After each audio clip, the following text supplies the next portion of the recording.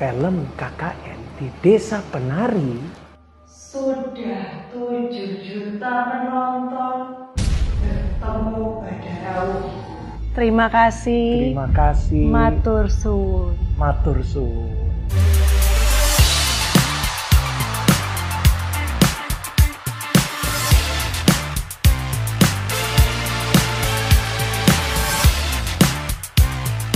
KKN di Desa Penari jadi film nasional terlaris sepanjang masa.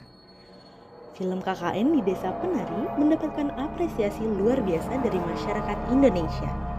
Film horor garapan MD Picture ini memecahkan rekor sebagai film nasional terlaris sepanjang masa dengan jumlah 7 juta penonton dalam waktu 19 hari sejak tayang pada 30 April 2022.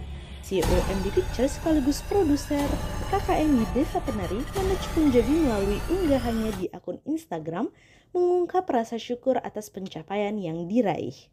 Hai semuanya, saya sangat bersyukur karena film KKN di Desa Penari telah mendapatkan sambutan yang luar biasa.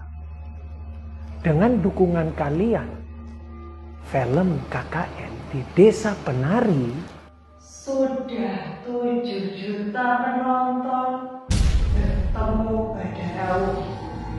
Manoj Punjabi membagikan kebahagiaan itu sambil mengunggah video bersama Badara Wuhi yang diperankan oleh Aulia Sara di film KKN di Desa Penari lengkap dengan busana tarinya. Aku kaget loh. Saya baru mau bilang 7 juta penonton. Wuhi adalah makhluk halus sosok siluman dari pantai selatan yang sangat cantik dan digambarkan sebagai seorang penari bertubuh ular dengan ciri khas berselendang. Sejurus kemudian Manoj Punjabi juga terkejut melihat Aulia Sara yang muncul persis di belakangnya. Terima kasih. Terima kasih. Matur suwun. Matur suwun. Gak usah melo-melo. Ojo Terima kasih.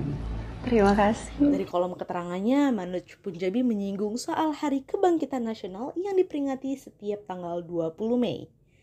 7 juta penonton film KKN di Desa Menari telah memaknai Hari Kebangkitan Nasional.